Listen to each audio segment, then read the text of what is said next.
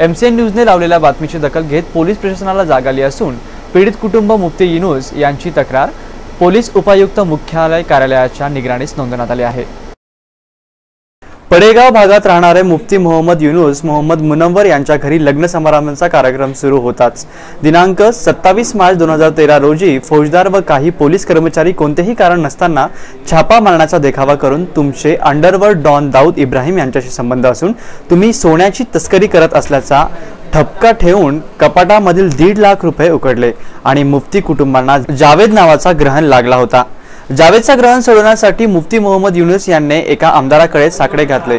परंतु त्याचा उपयोग झाला नाही. त्यानंतर मुख्यमंत्री मानव अधिकारी गृहराज्यमंत्री यांना स्पीड पोस्ट करून न्यायाची भीक मागत हा कुटुंब एमसीएन कार्यालयात येऊन त्यांनी शेख जावेद यांनी केलेले कृत्य सांगितले. शेख जावेद यांनी केलेल्या कृत्याबद्दल एमसीएनने बातमी प्रसारित करताच दररोज गुन्हे शाखेत हजर राहणारा शेख जावेद कार्यालयात दिसलाच नाही.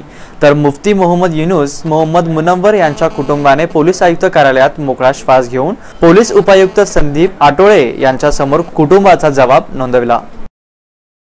मी खूप मीडियाचा आणि न्यायव्यवस्थेचा आणि पोलीस मंडळीचा खूप आभारी आहे. तर त्यांनी याची या गोष्टीवर लवकर ॲक्शन घेतली आणि आता आम्हाला शंभर टक्के न्याय मिळेल अशी आम्हाला आशा आहे.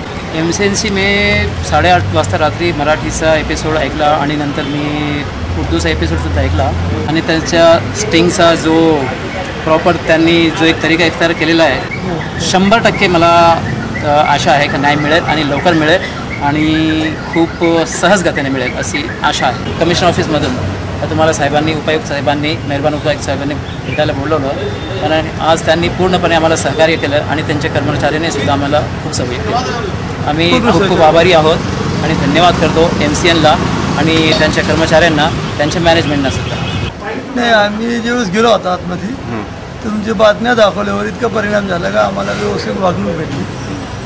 पोलीस स्टेशनमध्ये दुसरा गुन्हा कोणत्या पद्धतीने दाखल करायचा आम्हाला स्वतःहून डिपार्टमेंटने विचारलं का तुम्हाला कोणत्या पद्धतीने गुन्हा दाखल आम्ही म्हणलं जे आमच्यावर अत्याचार झालेलं तेच दाखल करायचं. एम सी एनची जे बातम्या आली त्याच्यामुळेच आम्हाला बोलवणं आलेलं ह्याच्या अगोदर आम्हाला कोणी फोन नाही केलं. कोणतं-. हा बोलवलं नाही.